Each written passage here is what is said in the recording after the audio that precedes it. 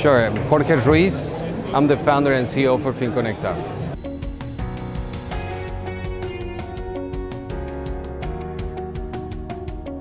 Of course, uh, FinConecta it's a platform that we integrate with fintechs on one end and to banks on the other end.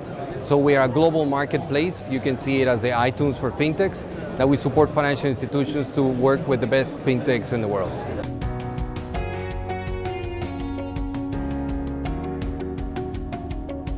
Of course, yeah, we've been coming to uh, Singapore since they started. I see that um, we see that Singapore it's one of the centers for fintech. We cannot miss the opportunity to talk with the best fintechs that are out there. Also, we are meeting with some of our clients. We do business in Latin America, in Africa, Middle East, and some of them are here. And uh, of course, we're looking for more partners and more things to do together with a, a bunch of other good companies that you can find them here.